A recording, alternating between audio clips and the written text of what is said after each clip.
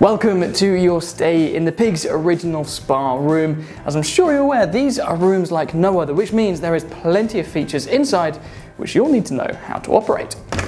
Now, the first thing you might want to do when you start your stay here at the Pigs is make sure that your room is the perfect temperature.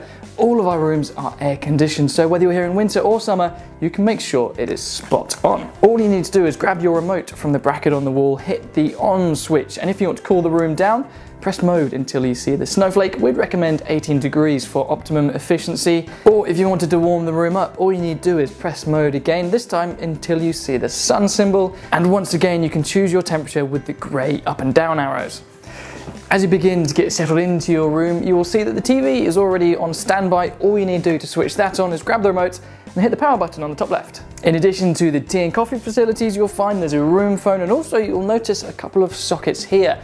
And that is because all of our rooms come with an internal sound system. All you need to do is grab the aux cable that will be next to the phone, plug them both in, just make sure that the red goes into the red socket on the top. The other end of the aux can plug straight into your phone, or if your phone doesn't have a headphone jack, then adapters are available from reception. Now the music from the aux cable not only plays in the speakers you can see here in the main room, but that's also pulled through to the speakers in the area as well. And the glazed roof means during the day it will be filled with light and you can enjoy the big Norfolk skies, but if at night time you wanted to add some more light to the zone there, you'll find the light switch for the outside spaces tucked behind the curtain here.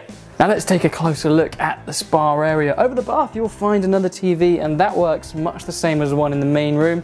There's a separate white remote and the power is top left again. Or if you're in the bath and you find the remote is out of reach, don't worry, you can stay in the bath because there is a panel of buttons just under the screen. Now let's talk about the sauna. Don't be daunted, the controls couldn't be easier. You will see two dials. Left is the timer, right is the temperature, and we've even set them with a red dot to our recommended settings, so all you need to do is make sure that the two dots are facing up. Once you've sorted the dials, give it 20 minutes and the sauna will be up to temperature. Elsewhere in the sauna, you'll see a manual temperature gauge on the wall. There's a bucket of water if you wanted to add some humidity to the sauna, simply pour a spoonful on the rocks. There's also a manual sand timer, so you can keep track of how long you've been in there. We would recommend 15 to 20 minutes per session.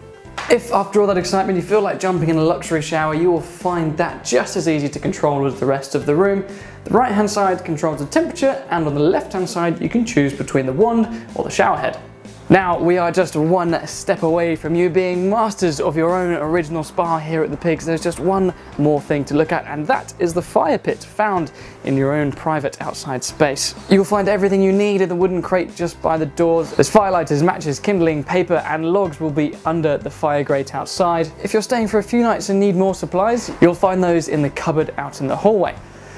Well, my work is done for now. You are officially experts in your original spa room here at the Pigs. If you've got any questions at all, if we can help in any other way, then you can catch reception on the phone in your room. And all that's left for me to do is to wish you the most enjoyable stay.